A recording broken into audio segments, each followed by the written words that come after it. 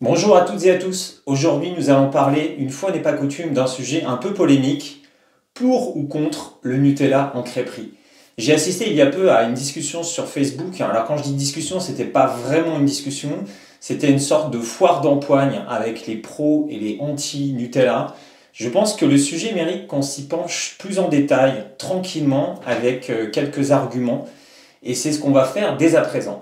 Le Nutella, en deux mots, c'est une invention de 1964 par les Italiens de Ferrero dans le Piémont, à côté de Turin et de Milan. Et le Nutella aujourd'hui représente en vente 84 000 tonnes par an en France. Ça signifie qu'en moyenne, chaque Français va consommer chaque année 1,4 kg de Nutella. Donc c'est évidemment quelque chose d'énorme et de très conséquent. Dernier petit chiffre qui est assez hallucinant, c'est que la France représente 1% de la population mondiale et 26% de la consommation mondiale de Nutella. Voilà, pour vous dire à quel point euh, on est fan de cette pâte à tartiner. Je vous propose trois arguments pour, trois arguments contre, et je vous dirai à la fin quel est mon avis sur la question cruciale pour ou contre le Nutella en crêperie. Argument numéro 1 pour l'utilisation du Nutella en crêperie, no Nutella, no business. Il faut faire simple. Le crêpier, c'est un commerçant et son objectif, c'est de vendre ses crêpes.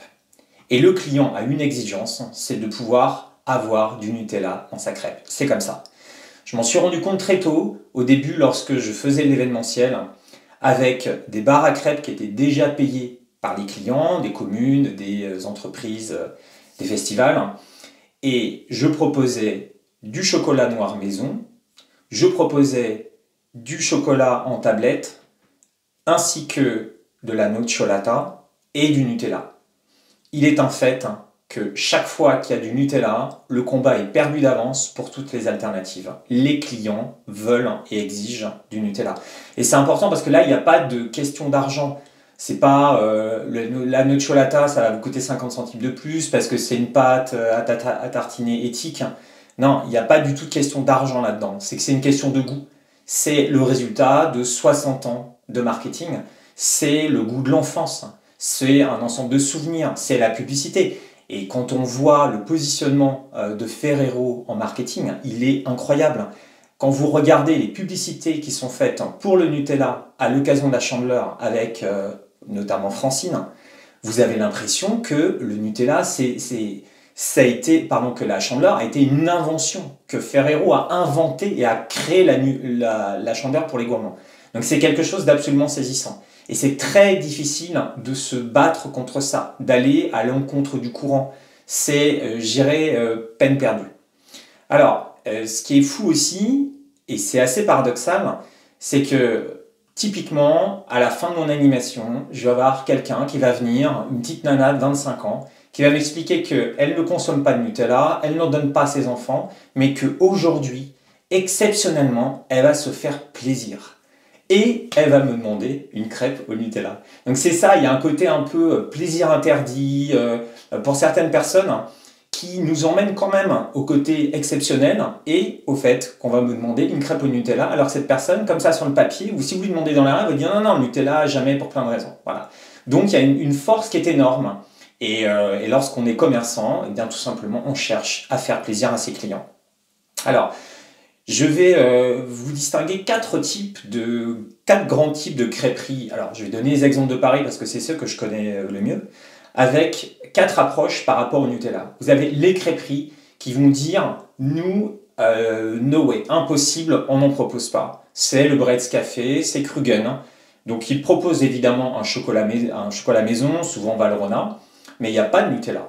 Après, le deuxième type de crêperie, comme euh, la crêperie caramel sarrasin chez mon ami euh, Stéphane, euh, à côté du Grand Rex. Lui, il met sur sa carte, ce n'est pas notre garniture préférée, mais bon. Donc il vous dit, voilà, on en a, on vous la conseille pas, mais on en a. Donc c'est possible. La très grande majorité, évidemment, des crêperies va proposer le Nutella sans mention particulière, et après c'est au client de faire, de faire son choix. Et on a un dernier cas de figure qui est assez intéressant et qui est en train de prendre de l'ampleur. Ce sont les crêperies qui vont baser leur communication sur le Nutella. Alors on a un, premier exemple dans le quartier des Grands Boulevards, comme vous pouvez le voir ici, avec un mur de pots de Nutella. là, ça veut vraiment bien dire qu'on est dans le showroom de Ferrero. Et puis, euh, on a également un autre exemple, hein, rue du Faubourg Montmartre. Alors là, c'est assez intéressant parce que donc Ferrero, comme je vous l'ai dit, sont euh, des gens qui sont extrêmement malins en marketing et ils ont euh, créé une, action l'an dernier qui est celle qui s'appelle les ambassadeurs Nutella. Et la, la crêperie que je vais vous montrer dans un petit instant, qui fort modestement s'appelle Aux meilleures crêpes et gaufres de Paris, Vous voyez, c'est. Voilà, hein, euh, on, assure, on assure. Euh, donc, qui s'appelle, le, nom commercial, c'est euh, La Crème de Paris, a, participé à cette aventure et a gagné de la part de Ferrero un plan de communication qui comprend un tournage vidéo, un shooting photo relayé sur le site de Ferrero, ainsi que sur les extraits, des extraits sur les réseaux sociaux de Nutella. Voici la vidéo. Ici à la crème de Paris, la vraie différence, c'est euh, notre générosité. On fait pas vraiment des crêpes, on fait des pancakes très grandes, très épaisses. On y sert avec beaucoup de générosité, notamment euh, nos produits phares euh, comme le Nutella, qui associe des bananes, des fruits. et le Nutella, sur l'ensemble de nos ventes, représente plus d'un tiers de nos ventes en sucré. La crème de Paris nous dit vendre 30% de ses crêpes au Nutella. Pour ce qui me concerne, c'est un minimum de 50%. Avec une petite observation qui est intéressante, plus on va au centre de Paris et plus on va vendre du sucre, du caramel au beurre salé, et plus on s'éloigne du centre, donc lorsqu'on va en banlieue, on va vendre du Nutella. J'ai fait des animations crêpes, euh, notamment euh, dans l'Essonne, avec 90% de crêpes au Nutella. D'autant plus lorsque on s'adresse à des populations qui sont jeunes, euh, lorsqu'on est sur des moins de 25 euh, ans, où là c'est quasiment du 100%. Une crêpe, c'est une crêpe au Nutella. Le deuxième argument pour l'utilisation du Nutella, c'est la rentabilité. On va pas se mentir. Le prix de revient d'une base, à savoir juste une pâte qui a été tournée, prête à garnir, c'est environ 20 centimes. Par rapport à ça, on va bien sûr rajouter la garniture. Personnellement, avec 1 kg de Nutella, je fais 18 crêpes, hein, ce qui fait 55 grammes en moyenne de Nutella par crêpe. Le Nutella va coûter environ 5 euros le kilo, avec euh, la possibilité, vu que les dates limites de conservation sont très longues, hein, de faire ses courses à 3,50 euh, lorsqu'il y a les promotions de la chandeleur euh, dans la grande distribution.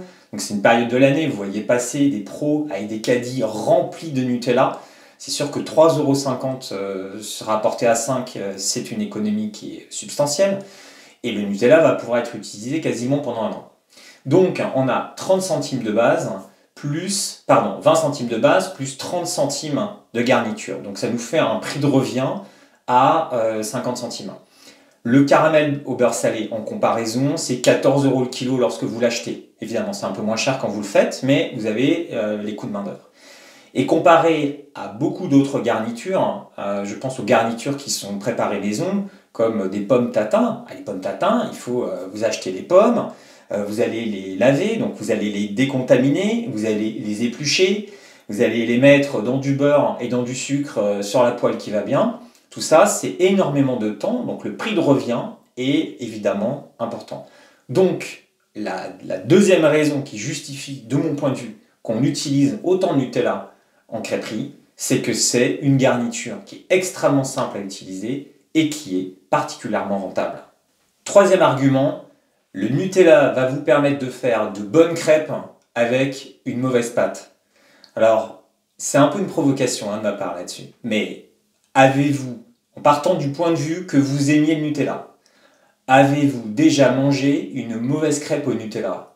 Non, c'est pas possible. On ne peut pas rater une crêpe au Nutella. Euh, c'est tellement, euh, c'est la prestidigitation et on peut avoir des professionnels qui utilisent de la pâte euh, préparée avec de la poudre, qui vont utiliser de l'huile à la place du beurre, qui vont mettre de l'eau à la place du lait, qui vont utiliser des crêpes congelées.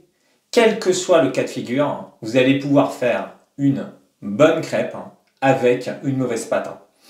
Et c'est pour moi une raison également d'utiliser et de mettre en avant à ce point le Nutella. Allez, pour terminer, quelques arguments rapides. Premièrement, une date limite de conservation qui est très longue. Donc pour les professionnels, c'est quelque chose de facile. Ensuite, euh, la conservation est idéale. Hein. Pas besoin de mettre le Nutella au réfrigérateur. C'est euh, quelque chose qui, joue euh, beaucoup hein, lorsqu'on a une crêperie.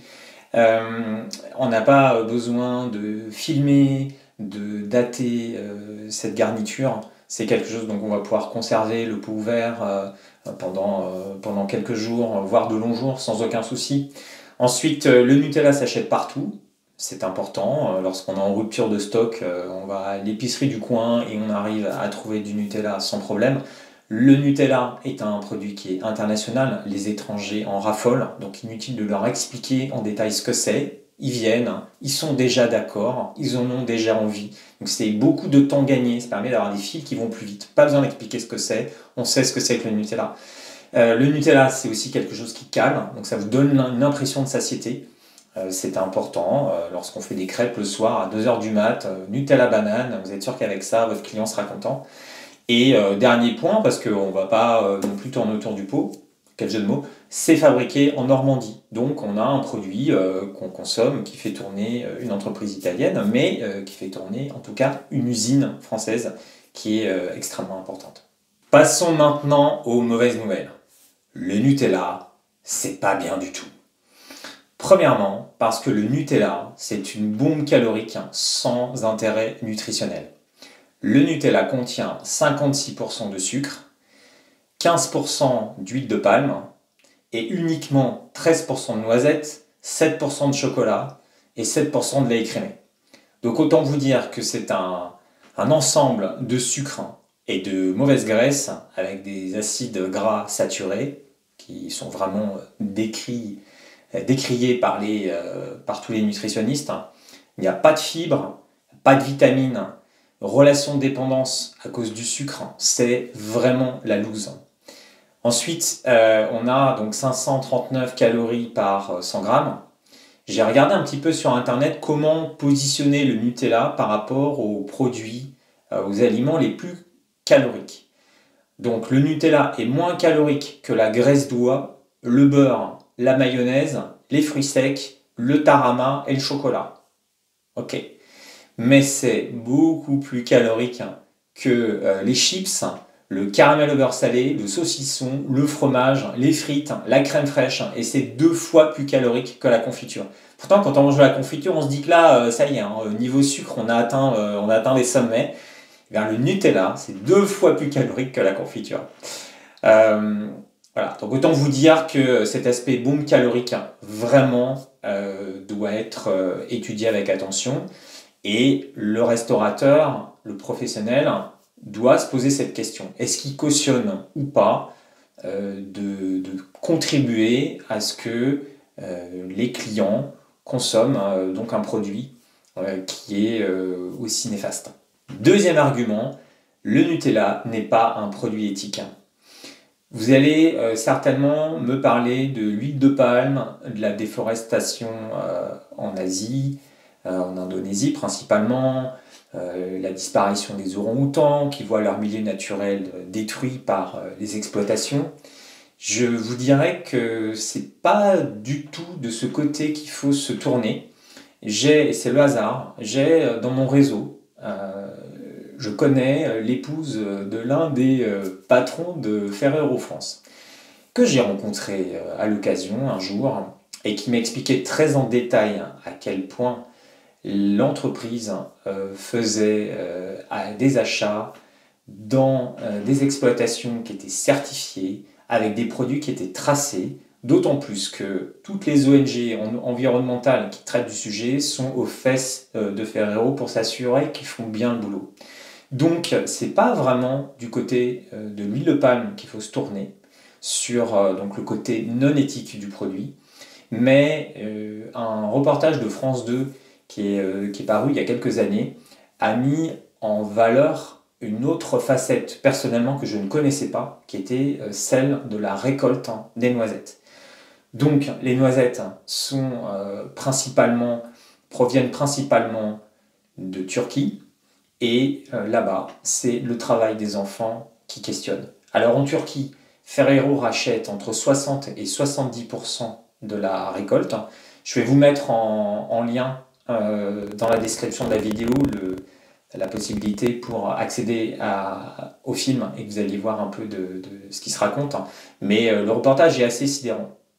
Et euh, surtout, la question qu'on va se poser derrière par rapport aux alternatives euh, éthiques que l'on connaît, de Michel Augustin, de Bonne Maman, de Milka, de la Nocciolata, etc., c'est que finalement, eux, ok, ils mettent pas d'huile de palme, mais en attendant, ils ont aussi des noisettes. Donc la question de l'éthique, hein, de mon point de vue, se pose pour toutes les pâtes à tartiner. C'est quel est le sourcing en matière de noisettes et euh, font-ils ou pas travailler des enfants pour récolter ces noisettes? Donc c'est un gros gros sujet éthique, bien entendu.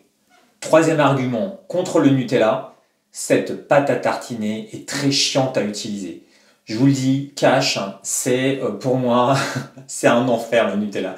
Déjà l'hiver, quand vous travaillez dehors, marché de Noël, quand il fait moins de 10-12 degrés, ce qui est hein, euh, souvent le cas pour les marchés de Noël, le Nutella devient comme du béton. C'est-à-dire qu'il faut trouver une ruse, trouver une astuce pour l'avoir à température et euh, être en mesure de le servir euh, et de l'étaler sur les crêpes. Donc il y, a, beaucoup de techniques hein, que je vais vous épargner, ça pourrait même donner euh, l'objet d'une vidéo rien que sur le sujet, comment utiliser le micro-ondes, le bain-marie, les réchauffeurs de Nutella, etc. Mais voilà, il y a cet aspect qui n'est pas, pas du tout avantageux pour cette garniture. Par ailleurs, le Nutella, on s'en met partout. Donc l'une des raisons pour lesquelles j'ai des, gants quand je fais des crêpes, c'est pas uniquement pour une question d'hygiène et éviter de me brûler, c'est que euh, toutes les heures ou toutes les heures et demie, j'enlève mes gants parce qu'ils sont couverts de Nutella et j'en remets les nouveaux. Euh, donc c'est voilà, il y a ce côté, euh, ce collant, poisseux qui, qui est vraiment pas, pratique. Et dernier point, quand vous faites la vaisselle, hein, vous voyez à quel point le Nutella c'est de l'huile de vidange. comparé à du caramel, à du sucre, à de la confiture, vous mettez un petit peu d'eau, vous laissez ça une demi-heure, c'est facile, un coup d'éponge et tout s'en va. Le Nutella, c'est impossible. Hein. C'est de l'eau à 60, c'est euh, bien entendu euh, du liquide vaisselle, et il faut y aller, et il faut y aller, il faut y aller. Et vous, voyez à quel point cette consistance est, euh, grasse. Hein. Et voilà, et je dirais que c'est presque, c'est presque inquiétant. Et quand vous faites la vaisselle d'une journée entière d'activité d'artisan crépier, vraiment vous dites que si on pouvait se passer du Nutella, on le ferait très très volontiers. Je vais vous dire maintenant ce que je pense du Nutella. Premièrement, je n'aime pas le Nutella. Je n'en ai jamais acheté, je n'en mange jamais. Euh, même euh, exceptionnellement, je veux dire, même à la fin de, ma journée, lorsqu'on a envie de, tirer sa langue et de finir la cuillère, euh, moi perso, ça voilà, ça, ça s'est jamais produit, je l'ai jamais fait, je suis pas du tout fan du Nutella. Pour autant, je respecte ceux qui aiment. Je cherche pas à faire leur bonheur malgré eux. Je propose toujours en alternative désormais du chocolat noir lorsque je sens qu'il y a une discussion. Lorsque euh, euh, les parents et les enfants sont pas complètement d'accord, je leur dis attendez, on peut mettre du chocolat noir si ça vous va. Et je pense que c'est important d'avoir cette possibilité, d'avoir ce plan B. Pourquoi? Parce que je suis assez inquiet de, de la malbouffe. Je suis assez inquiet du, finalement de l'exception qui devient la règle. Le Nutella, il n'est pas, pas décrié si c'est une consommation qui est occasionnelle. En revanche, lorsque c'est la base du petit déjeuner et du goûter d'un enfant, effectivement, on commence à avoir là un problème euh, au niveau de, au niveau de l'alimentation.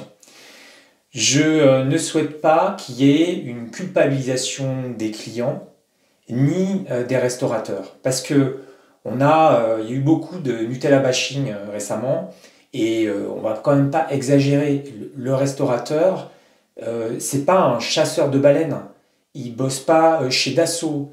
Euh, c'est pas un torero. C'est pas un dealer. C'est juste quelqu'un qui fait du business comme il peut, avec un produit qui est en vente libre. D'accord? Le Nutella, c'est pas, on n'achète pas ça en pharmacie. Donc on, voilà, on se calme, on, on essaie de réfléchir de manière dépassionnée au sujet.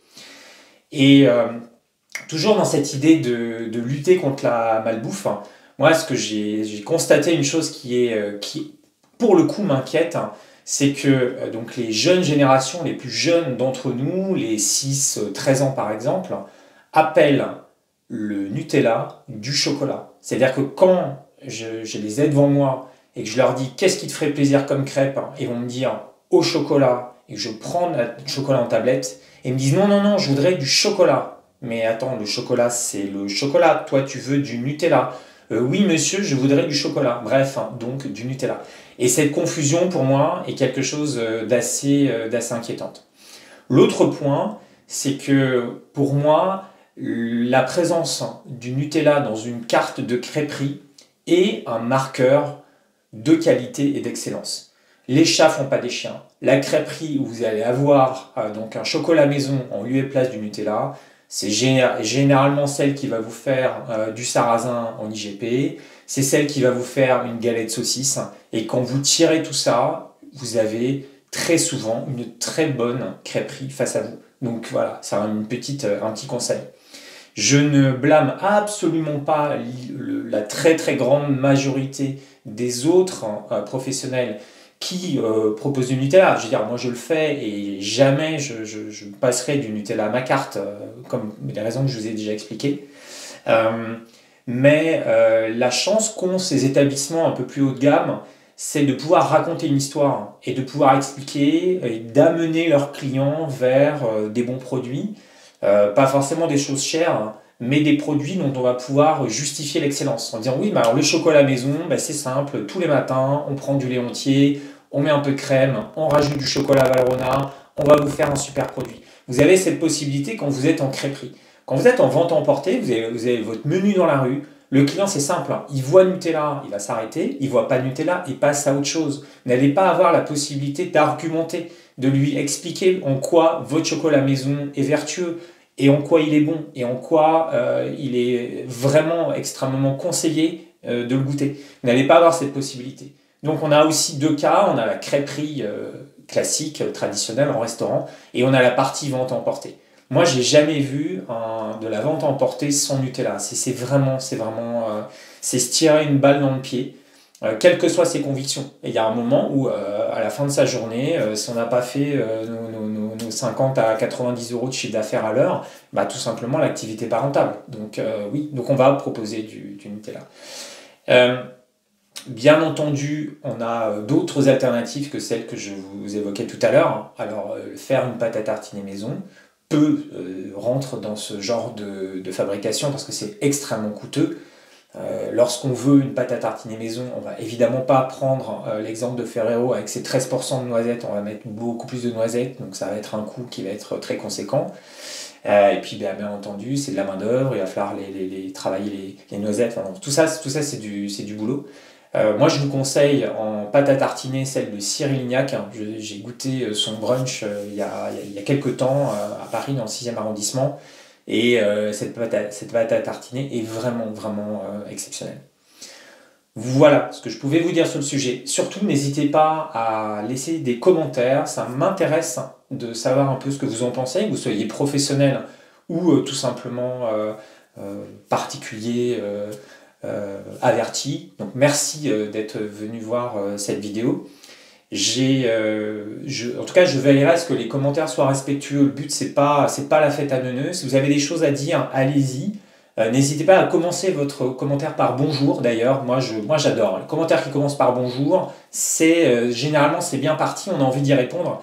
Je parle de moi puis aussi des autres internautes. Et si vous voulez qu'on ait une discussion sur le sujet je, je pense qu'on peut on peut l'avoir. Le Nutella c'est vraiment c'est tellement associé à la crêpe que qu'on a, euh, on a vraiment, je pense, euh, matière à échanger dans, dans les commentaires de la vidéo. Merci beaucoup, à très bientôt pour une prochaine vidéo sur le monde merveilleux des crêpes et des galettes. Salut